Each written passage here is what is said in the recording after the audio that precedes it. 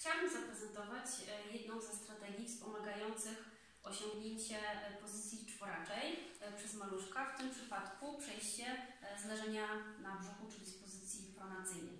Spróbujmy w tym przypadku wykorzystać umiejętność naprzemiennego przenoszenia ciężaru ciała na stronę wydłużoną i skróconą.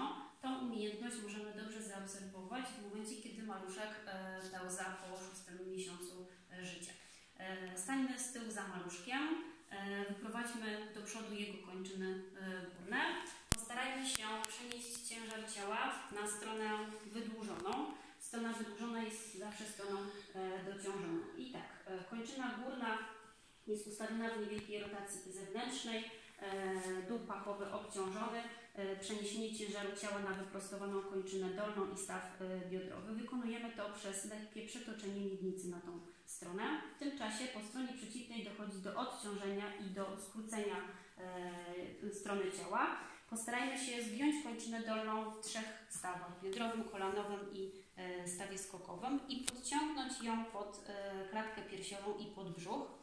Następnie również przetaczając miednicę e, trzymając e, kończynę dolną w zgięciu, odciążamy drugą stronę i ten sam ruch wykonujemy po tejże stronie. Jeżeli mamy już maluszka e, w ułożeniu miednicy na e, zgiętych kolanach. E, zbliżmy się do niego tak, aby ustabilizować tą pozycję swoimi udami i zobaczmy, czy niemowlę w tej pozycji potrafi już aktywnie, samodzielnie wyprowadzić ręce do przodu. Jeśli tego nie potrafi, postarajmy się swoimi dłoni ustawionymi na miednicy dziecka symetrycznie, delikatnie ściągnąć miednicę ku dołowi. Poczekajmy na reakcję tułowia i aktywność e, głowy, powinien, powinien on zareagować uniesieniem głowy do góry e, i spojrzeniem na zabawkę umieszczoną z przodu w linii e, wzroku dziecka.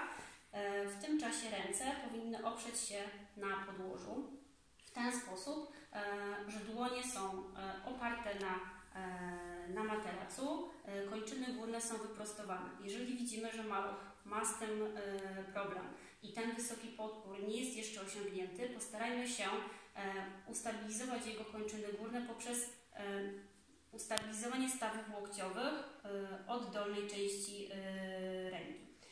Staramy się aktywizować reakcję pchania obręczą barkową do podłoża.